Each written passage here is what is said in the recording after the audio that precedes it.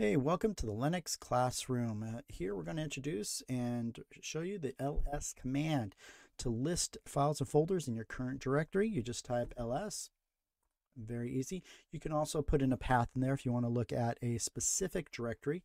You can either add a relative path like this, or you can add a full path, absolute path if you like, just like that to see those as well. You can look at your files and folders in long list, adding the L option, just like that. Gives you a lot more information about your files and folders if you want.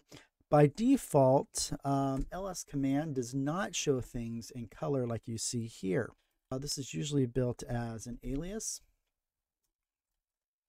Whoops. I have to spell an alias correctly.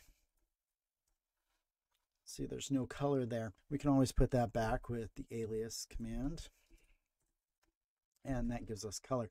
So showing that the uh, the color option allows you to view things in color if you like to as well. If you're trying to look at items within a directory, for instance, if we just want to um, list the temp folder there, that actually shows you all the items inside the temp folder. But if you actually add the D option with the L option, now you only see the properties for the temp folder if you like. ls, lowercase a option shows you hidden files and folders that are there. I guess I don't have too many hidden files and folders there. If I do that, you'll see hidden files or folders. Those are files and folders beginning with a dot. That's what the A option does we can go ahead and um, format these a little bit. There's different ways in which we can do this. You can use the format option and look at everything, all the files and directories separated by commas if we wanted to. If we want everything to blend together, we can use the zero option. Don't use this one too often, but you can do that if you like. You can also look at it at each item one per line by using the TAC 1 and every now every directory and file are one per line. We can look at inodes if you want with the dot .i, the dash .i option. we can see the inode numbers.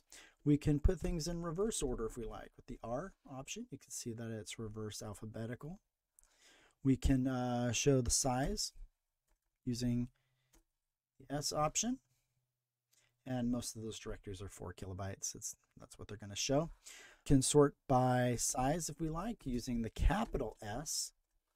So we can see that everything there is sorted by size. We can sort things by timestamp using the T option. And finally, we can show things sorted by extension using the capital X option.